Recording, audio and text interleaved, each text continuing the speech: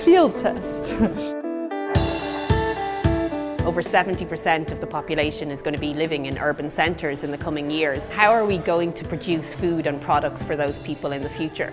We want people to start to think about the reality of the future of uh, animal protein consumption and obviously the current modes of production. This piece is called Second Livestock. It's a virtual reality world for commercially farmed chickens so they can have a virtual free range experience. It's not that we're trying to give people answers, but we're trying to give them experiences that enable them to engage in this conversation in a more rich way. We're going to have to have a far more insightful and kind of technological outlook on farming. Yeah, I love it. It's kind of like guerrilla gardening, you know, guerrilla farming.